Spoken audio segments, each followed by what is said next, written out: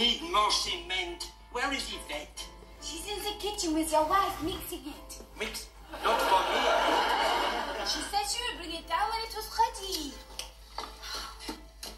Yvette, why have you been so long? Well, how could I walk through the cafe carrying a bucket of cement? It is full of German officers. But this is my wife's best mixing bowl. Which is why I was able to pretend it was full of pesto. Was nobody suspicious?